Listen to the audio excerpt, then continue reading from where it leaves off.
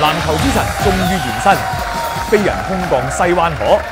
佢今次嚟係為咗 Jordan Brand 同香港協青社合作嘅 Jordan Wings 社區青少年支持計劃進行啟動儀式。咁計劃就係希望透過教育同埋運動，激發青少年嘅潛能，追逐夢想。米高佐敦提到教育嘅重要性。 Uh, obviously, I couldn't be sitting here today without the education aspect of uh, going to college, actually finishing high school, going to college, and, and then my life has been a great education. I've learned a lot. I've met a lot of new people, been a lot of places. I think education provides that opportunity for every athlete, for every per- player, uh, every person. 喺球场退咗落嚟之后，咁佢喺商界一样攞到好成绩㗎。佢分享自己嘅成功之道。 Well, I think it's, it's about setting goals, striving to reach those goals. You set goals, you work hard to get those goals. When you reach those goals, you set higher goals. Uh, I think in, in aspect of, of, of basketball and in business, they're very similar. You got to have a, a love for the game. You have to have a love for your business. You have a love for what you want to do. Because if you love something, you do it every day. You do every, you go to every extreme to try to be good at it. So I, I think having a love for something that you enjoy doing is, is it starts there. You got to have the love for something. 佢又特别提到有几个人对佢嘅人生影响好大。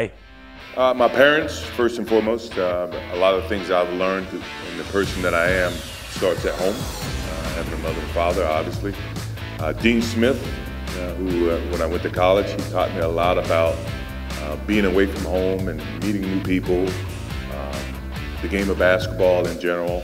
米高佐敦上一次嚟香港咧，经已系十一年前嘅事啦。咁当时咧，佢亦都有同啲青少年球员交流㗎。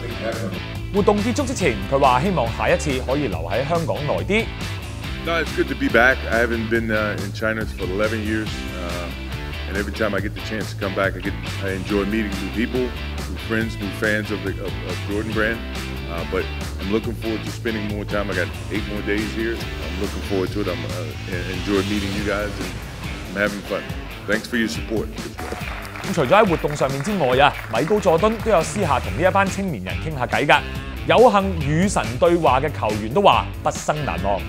其實誒、呃 Jordan 係一個經典嘅人物，尤其是喺籃球界，甚至誒喺、我哋自己打籃球方面，其實 Jordan 係可以一個傳奇人物。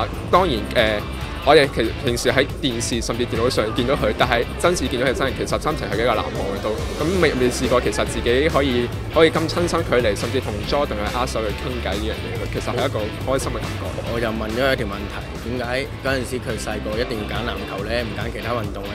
佢又同我講話佢中意籃球，咁 佢就叫我唔好放棄咯。如果中意籃球嘅，就俾心機去做，做到最好。喺工作上都係一樣。米高佐敦稍後就會到深圳同埋上海繼續推動呢一個社區計劃。HK Online TV Sports 記者吳家軒報導。